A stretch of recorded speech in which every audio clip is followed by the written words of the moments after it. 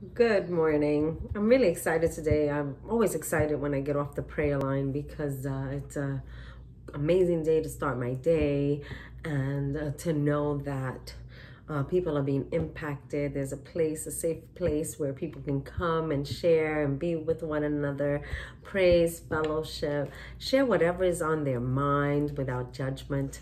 Um, it's a real safe space. Um, I'm grateful that we are intimate, but, but there's one thing about being intimate and creating intimacy. And so intimacy has been created. We've been praying for 88 days, 88 days.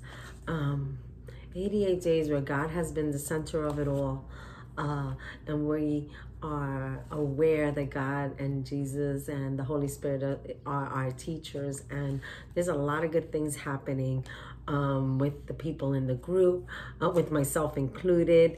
Um, there is. Uh, a lot. There's a lot. So get ready, get ready and be ready for some announcements that are going to be coming forth. Um, and just know that uh, we're keeping you in prayer. Uh, we keep the whole world in prayer. We're praying for the petitions that come in on a daily basis. And just know that you're covered. You're covered.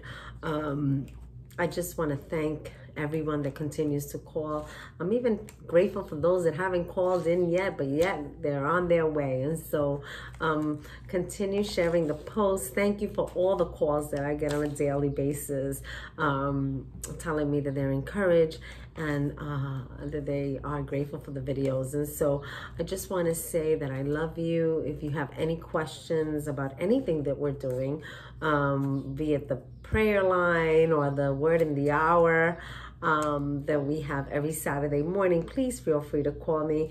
Um, I have nothing but love for you, and I would love to answer any of your questions. Um, I pray you have a day full of love, joy, and abundance.